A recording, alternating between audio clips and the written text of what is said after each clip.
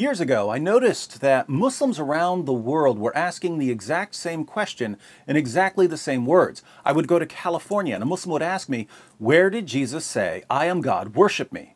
I'd go to London and a Muslim would ask me, Where did Jesus say, I am God, worship me? I'd get messages from Muslims in Pakistan and Indonesia saying, Where did Jesus say, I am God, worship me?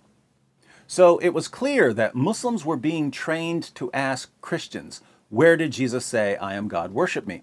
And if you watch some lectures by Muslim apologists, you can see them telling Muslims to ask this question. Now, before we continue, let me ask you, where did Jesus say, I am God, worship me? If some of the classic proof texts for the deity of Christ are popping into your head, you're going to run into a problem. Because if a Muslim asks, where did Jesus say, I am God, worship me? And you reply by showing that Jesus claimed to be the I am of the Exodus.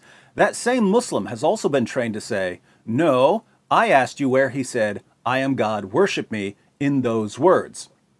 You see, Muslims aren't being trained simply to ask the question. They're being trained to demand exact words. You Christians say that Jesus is God and that we're supposed to worship him.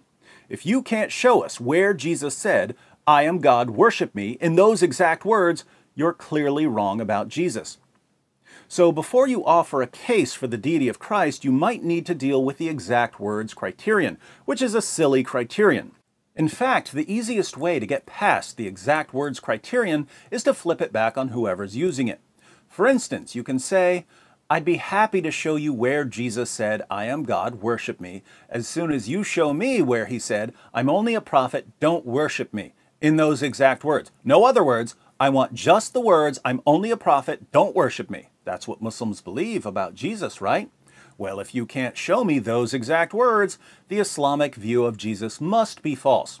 Or you can say, show me where Jesus said, I am the virgin born son of Mary, in those exact words. You can use the Bible or the Quran, but I want those exact words, or Islam is false.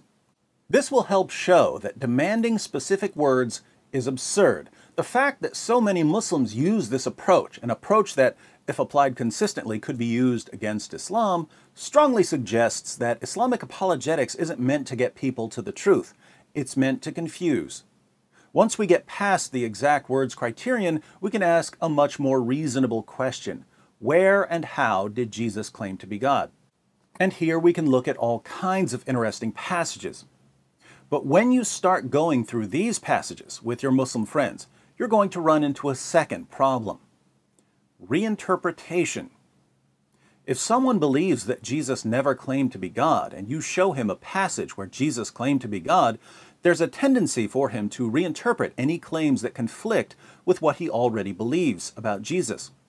Fortunately, there's a way to block reinterpretations of some of these passages, because, according to both the Bible and the Quran, there are certain claims that only God can truly make. For instance, God alone can correctly state that he created the universe. A mere human being can say the words, I created the universe, but the statement would be false coming from anyone other than God. So, if Jesus said things that can only truly be said by God, we have to conclude that Jesus claimed to be God. Interestingly, Jews, Christians, and Muslims agree on many of the claims that can only truly be made by God.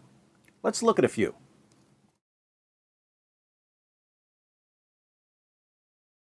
Surah 57, verse 3 of the Quran refers to Allah as the first and the last. The first and the last are two of Allah's 99 names. The Old Testament agrees that God is the first and the last, as we read in the book of the prophet Isaiah, chapter 44, verse 6 Thus says the Lord, the King of Israel and his Redeemer, the Lord of hosts I am the first and I am the last, and there is no God besides me. When Lord is written in all caps in the Old Testament, the term refers to Yahweh, the creator of the universe. So both the Bible and the Quran refer to God as the first and the last. Since the first and the last is one of God's titles, should a mere prophet be calling himself the first and the last? That's exactly what Jesus does in Revelation chapter 1, verses 17 to 18, where he says, do not be afraid, I am the first and the last, and the living one, and I was dead, and behold, I am alive forevermore, and I have the keys of death and of Hades. Reinterpret that one, Muslims. Tell me what Jesus really meant when he took a title which can only be applied to God and applied it to himself.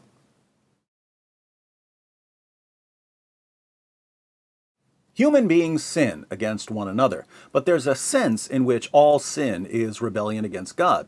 Similarly, even though you and I may forgive one another for the wrongs we commit, only God can offer ultimate forgiveness.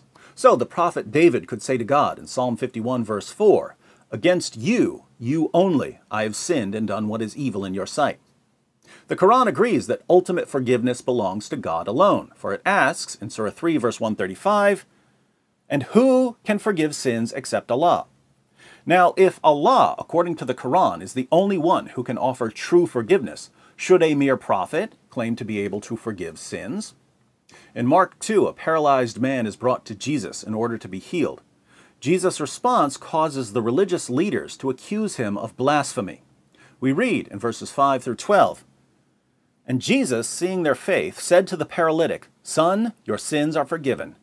But some of the scribes were sitting there and reasoning in their hearts, Why does this man speak that way? He is blaspheming. Who can forgive sins but God alone? Immediately Jesus, aware in his spirit that they were reasoning that way within themselves, said to them, Why are you reasoning about these things in your hearts? Which is easier, to say to the paralytic, Your sins are forgiven, or to say, Get up and pick up your pallet and walk?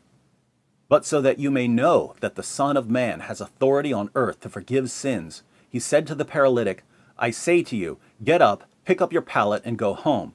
And he got up and immediately picked up the pallet and went out in the sight of everyone, so that they were all amazed and were glorifying God, saying, We have never seen anything like this. The scribes correctly recognized that only God can forgive sins. Yet Jesus, who referred to himself as the Son of Man, knowing their thoughts, replied that the Son of Man has authority on earth to forgive sins. He then healed the paralytic, proving that he has authority to forgive our sins, something the Quran says only Allah has authority to do.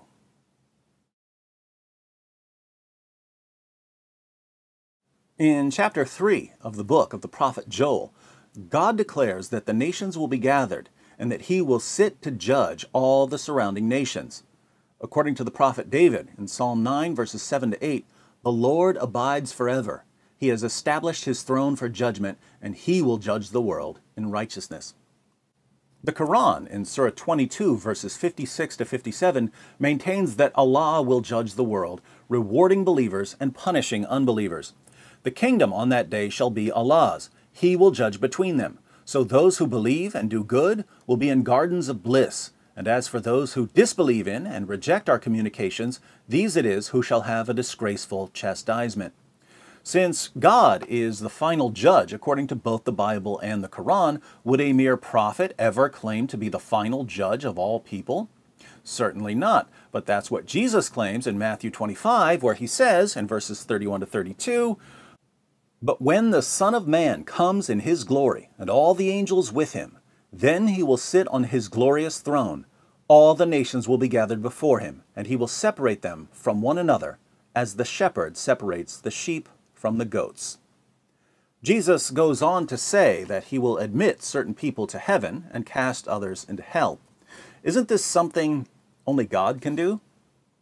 Why would a mere prophet say something like that?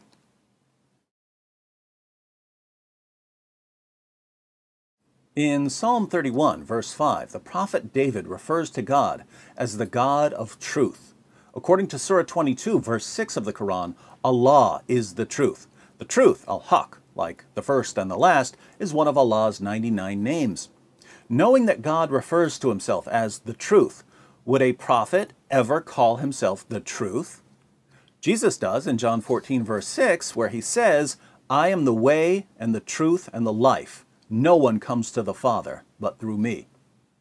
Don't you Muslims find it strange that Jesus keeps applying the names of God to himself?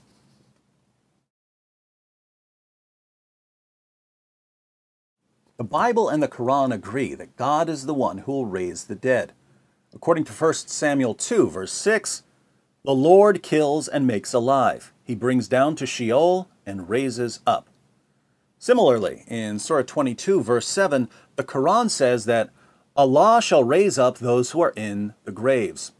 Since God is the one who raises the dead at the resurrection, would we ever expect a mere prophet to tell his followers that he will resurrect the dead? In John 5, verses 25 through 29, Jesus says, Truly, truly, I say to you, an hour is coming, and now is, when the dead will hear the voice of the Son of God, and those who hear will live. For just as the Father has life in himself, even so he gave to the Son also to have life in himself and he gave him authority to execute judgment, because he is the Son of Man. Do not marvel at this, for an hour is coming in which all who are in the tombs will hear his voice and will come forth.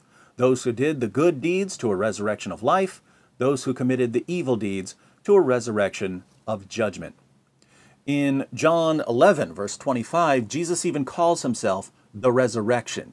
He declares, I am the resurrection and the life. He who believes in me will live even if he dies. If Jesus is only a prophet, wouldn't this be blasphemy?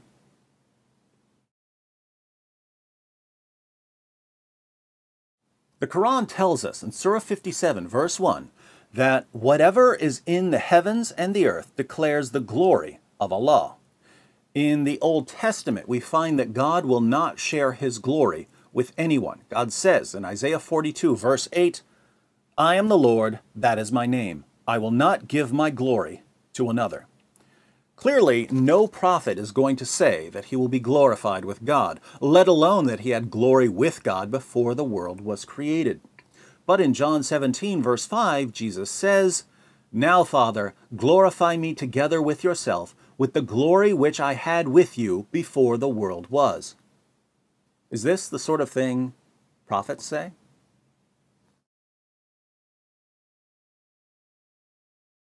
In Mark 2.28, Jesus calls himself the Lord of the Sabbath. In Matthew 22, 41 to 45, he proves that he is the Lord of the prophet David.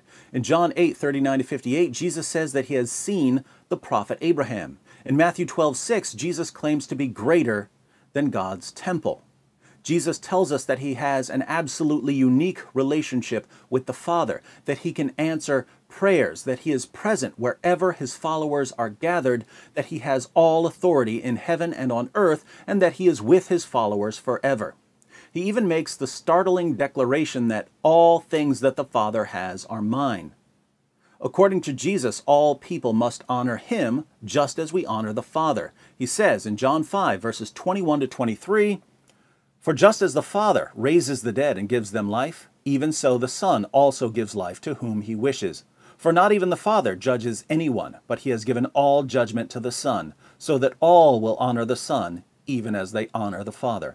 He who does not honor the Son does not honor the Father who sent him. Since one of the ways we honor the Father is by worshiping him, and since Jesus says that we have to honor the Son the same way we honor the Father, Jesus was demanding worship. It should come as no surprise that Jesus' followers worshiped him on numerous occasions. The gospel tells us that Jesus was worshiped shortly after his birth, during his ministry, after his resurrection, but before his ascension to heaven, and after his ascension to heaven. Jesus' disciple Thomas even addressed him in John 20, verse 28, as my Lord and my God. So, where did Jesus say, I am God, worship me? As we've seen, Jesus claimed to be the first and the last, the forgiver of sins, the final judge, the truth, and the resurrection. Jesus proclaimed that he had glory with the Father before the world was created, that he is the Lord of the Sabbath and of King David, that he had seen Abraham, and that he is greater than God's temple. Jesus has a unique relationship with the Father. He can answer prayers. He is with his followers no matter where they are. He has total authority on earth and in heaven. He is with his followers forever, and he owns everything. Jesus even demanded that he be honored just as the Father is honored, and this includes worship. These are not the claims of a mere human being. They're not even the claims of a mighty prophet. These are claims only God can truly make. And this is why Christians believe that Jesus is God. Since there's just too much to reinterpret here if you want to claim that Jesus was only a prophet, our Muslim friends will now have to insist that the Bible's been corrupted. Unfortunately for our Muslim friends, I made this video. proving that the Quran affirms the inspiration, preservation, and authority of our scriptures. Click the video to see Allah commanding Christians to judge by the scriptures we have, and you'll understand that because the scriptures we have proclaim the deity of Christ in numerous ways, we can't obey the Quran without rejecting the Quran.